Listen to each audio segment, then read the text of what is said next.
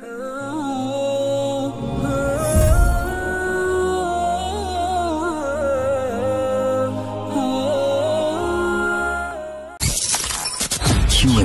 on Cii.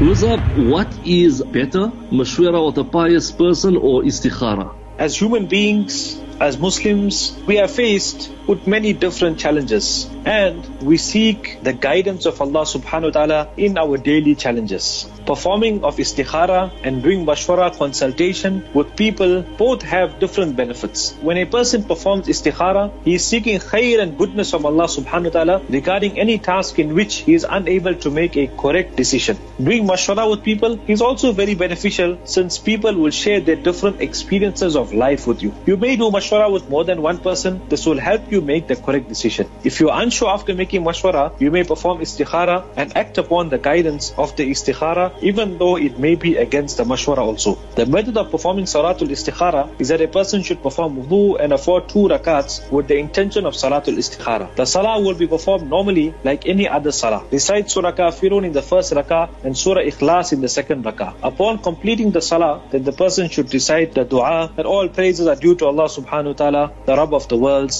Salutations and greetings be upon our leader Muhammad sallallahu alaihi wasallam, his family and all his companions. And thereafter the dua continues. Then you should mention your need while reciting the underlying portion of the dua. It is mustahab to follow this procedure three times. One may also use the help of a book, for example, if one does not know the dua by heart.